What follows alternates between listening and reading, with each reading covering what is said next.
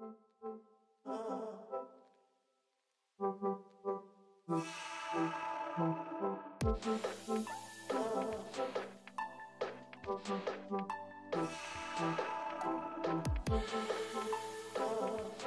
for myself, I define body confidence as just the way that I view myself.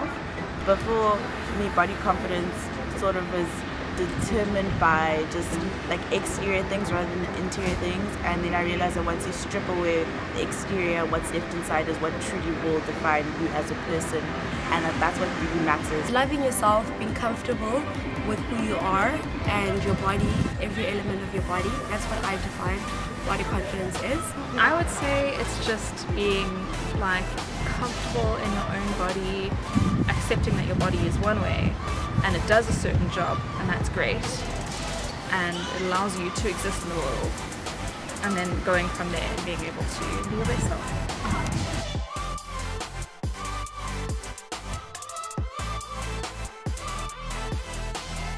Constantly are comparing yourself to people and trying to fit the mold that society has created for the perfect body or perfect look. Although you don't want to, you start comparing yourself to other people and how they look or how their hair is so long.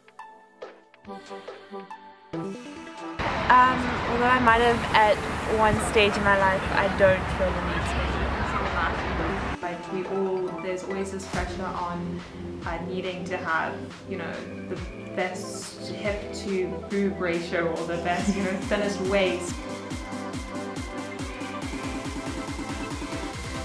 There's a certain beauty standard and it's often unattainable for um, people who, yeah, don't have a lot of money or or just don't don't spend a lot of time on their appearance. And um, if you don't have a certain um, build, you're not considered to be the perfect, yeah, the, the, perfect shape. Part of it comes from being very involved in sports when I was younger, and often you know you want to be fitter, you want to be stronger, and that's just not possible.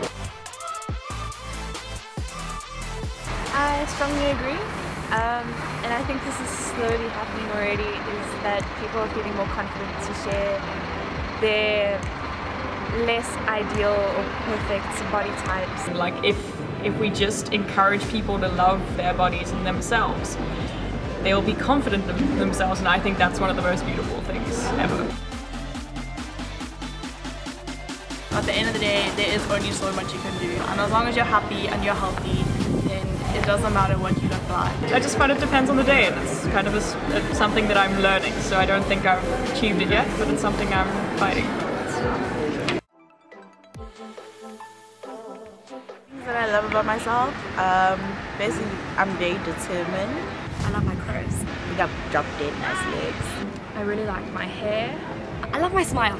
I'm very good with my hands, like I can I draw, I knit, um, I play piano, I cut my own hair today. I love my spontaneous energy. I have a very caring heart. I really like how I express myself through clothes.